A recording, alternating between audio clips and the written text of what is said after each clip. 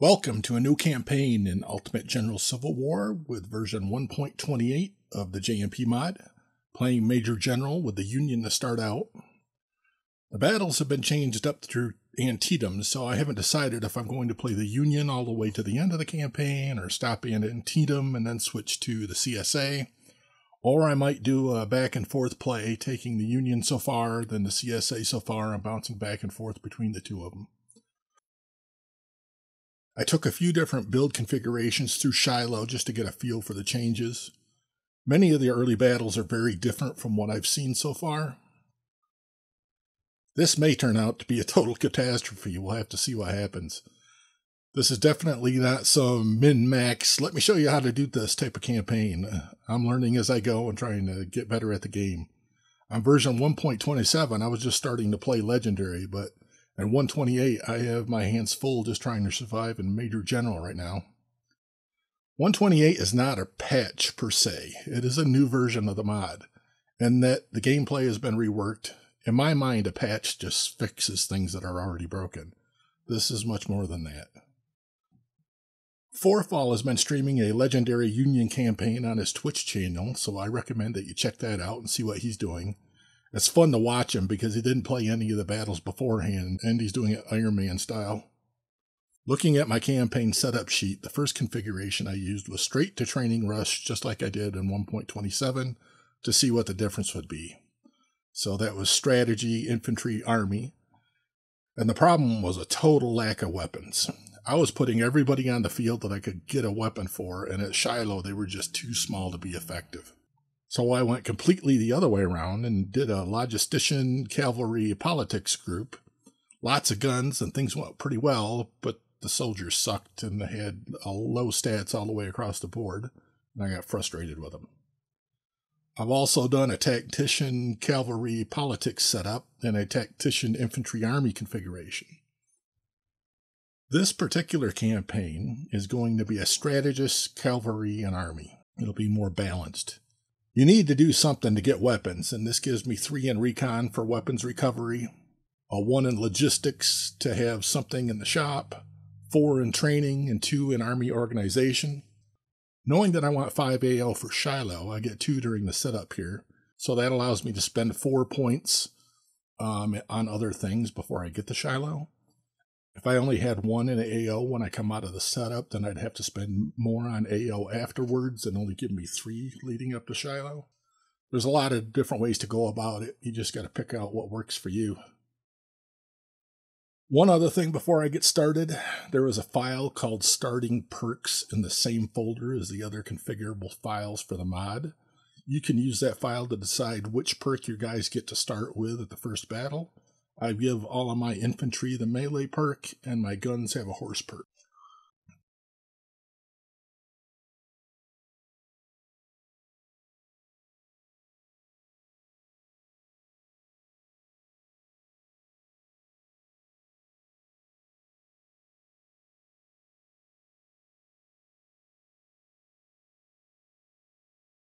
The first thing that you notice at Philippi is that you're coming in from the north, so everything has changed as far as that goes. You always start with a split on Zook. I thought it best to have Zook march in the wood line to avoid being shot at, which is what I've done here. But Forefall sent his skirmishers up in the woods to the left and marched Zook straight into town up the road with absolutely no problems, so you can probably do that. I've decided not to speed up my battles in my videos uh, wherever there's fighting going on because I don't want to lose the audio effects. You can use the YouTube controls to increase the playback speed if you want to move forward through the video faster. Maybe I shouldn't say this, but in the base game, you could avoid phase 2 of Philippi by not taking the town until there was only less than 10 minutes left on the mission timer. That was taken out for the previous version of the mod, but it seems to be back in now. Still, it's very hard to get full clears in battles now, so XP is kind of at a premium, so I would fight phase 2 just to get all the XP and weapons recovery that you can.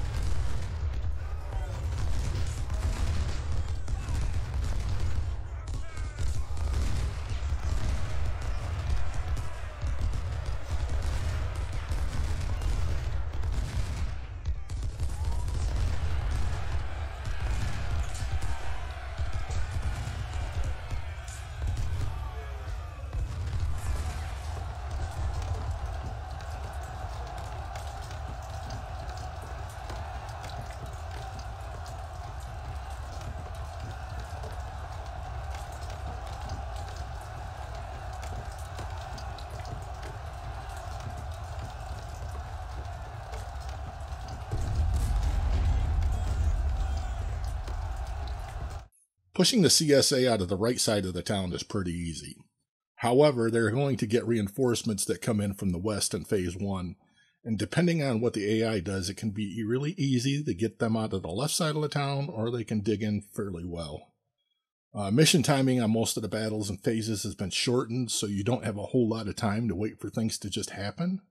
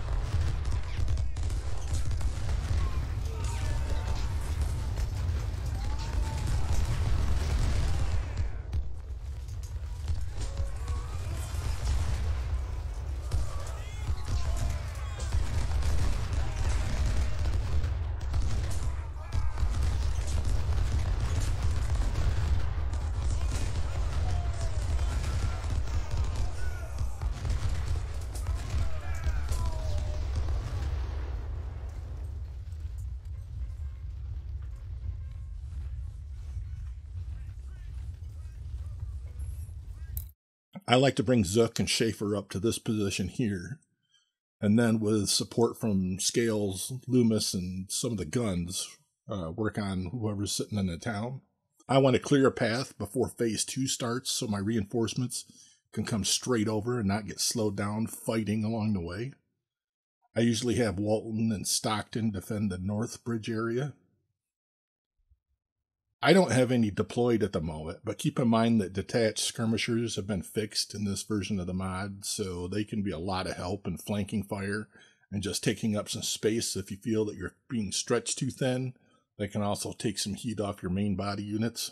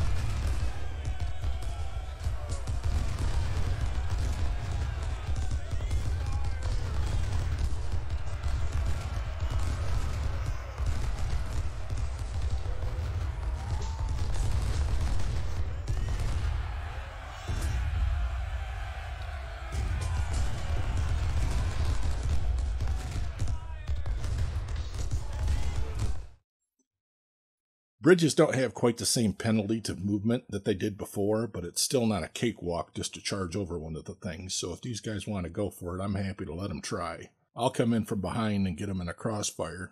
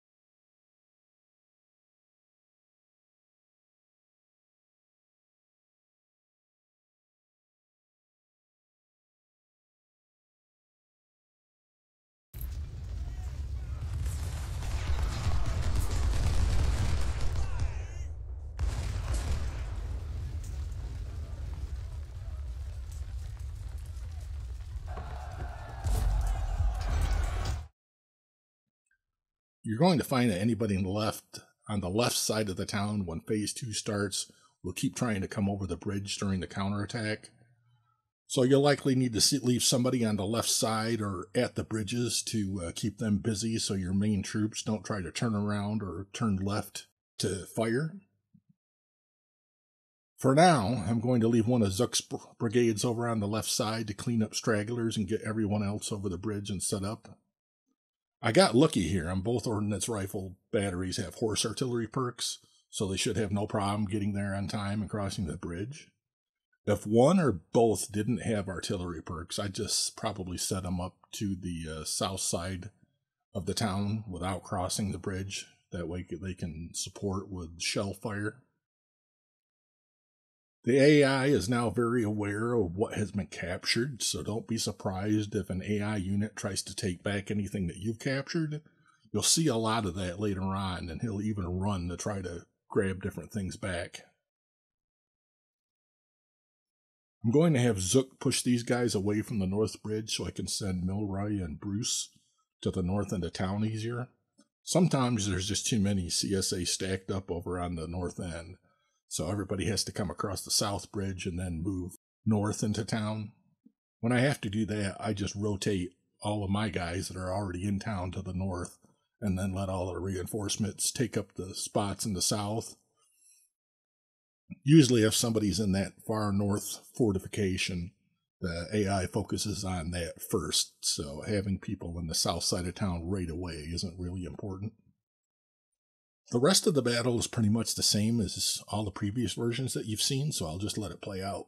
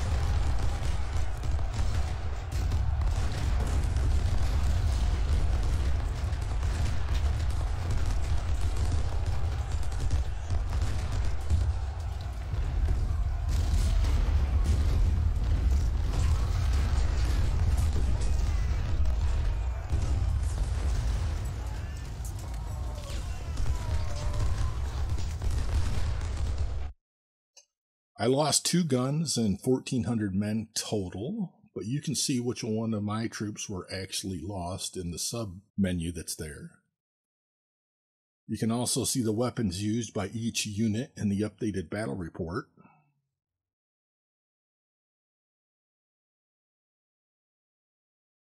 The Allied officers got beat up a little bit. Well, that wraps up Philippi. I'll see you in the camp leading the distress call to go over a few other things before we get started again. Thanks for watching.